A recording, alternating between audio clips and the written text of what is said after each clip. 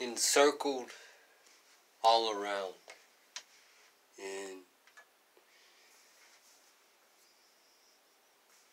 iniquity, death, that which awakens the throne. Is it not the Father that goes before us as children?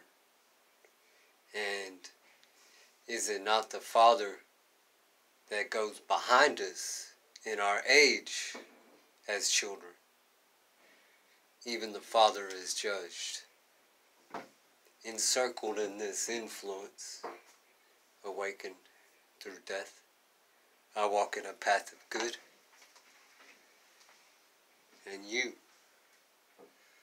are judged by it as well.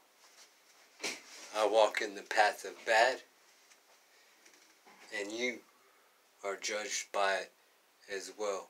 For I will rise and fall and rise again, says the scripture, when the throne is awakened by death.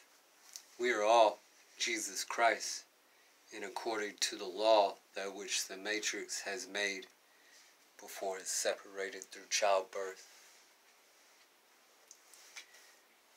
Therefore, do unto yourself as you would do to others.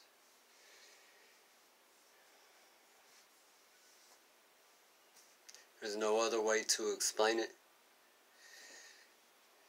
Even though we walk in iniquity, we must understand that only the strong stumble,